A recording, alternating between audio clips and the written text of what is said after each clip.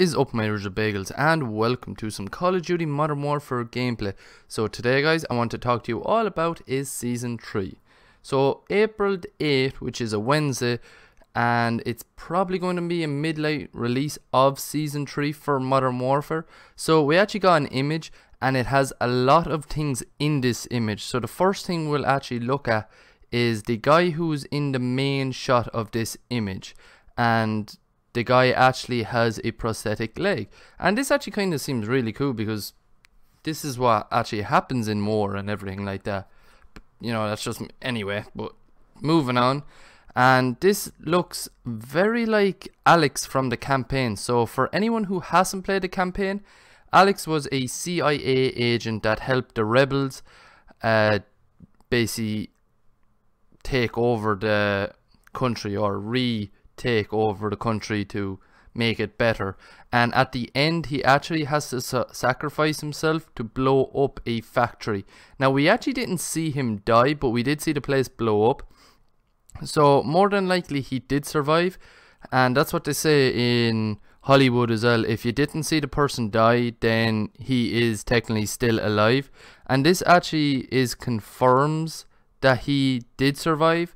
So this means then that the campaign happened before the multiplayer does, which is kind of weird in my mind, but I think I might save that for another video.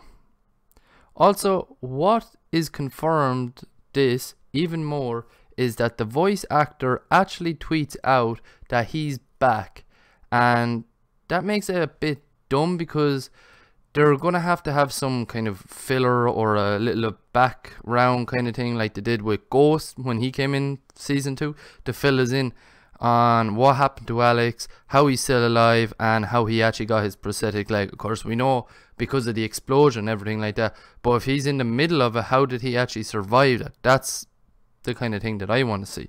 Hopefully they do that. They should really do that. So the background on the right hand side you can actually see backlot which I actually made a video saying that this was going to be coming to season 3 there a while back. And if we actually look at the left side of the image as well we'll see a new map which I think will be village. Now it won't be the exact same as modern warfare 3's village. This one is going to be a new one and I feel like they just took the same name probably to generate hype around it just to get people like, oh, this is going to be Village. Everyone love Village. Oh, this is going to be unreal. But I don't think it's Village. Well, it is going to be Village. It's going to be called Village and everything like that. It is 100% confirmed that it's going to be called Village. But it's not going to be the old Village. It will be a new Village.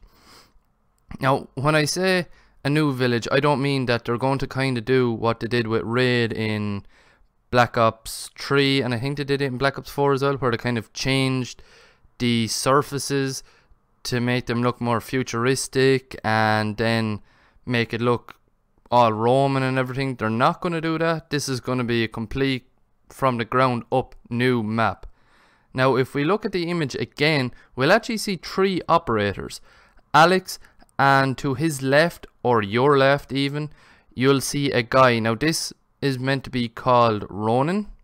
And the woman to the right, we actually don't know who she is, but if I was to make a guess, I feel like this could be kind of Alex's group, the way you have kind of the SAS, how you have Captain Price and Ghost and all that. And I feel like this could be something like Ghost's team, where you had uh, Ghost, Talon, and Mace.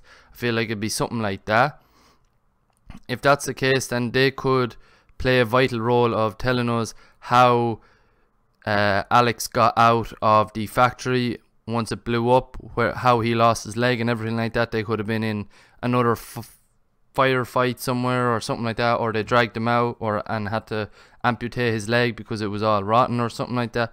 I don't really know, but yeah, this is the end of the video guys. I hope you did like it. If you did please hit the like button right beside that button. There should be a subscribe button. Next to the subscribe button there is a notification bell and you can hit that to stay up to date whenever i upload or whenever i go live on this channel which is going to be rare. Speaking of live streams i have a twitch channel. Link to that will be in the description below. Once you're there, you can hit the follow button, and right beside that, you can hit the notification bell. I'll probably be going live this week because of the Modern Warfare weekend, and I hope to anyway. And I also have a Twitter. Link to that will be in the description below as well. And yeah, that's it, guys. Hope you like, favorite, and subscribe, and peace.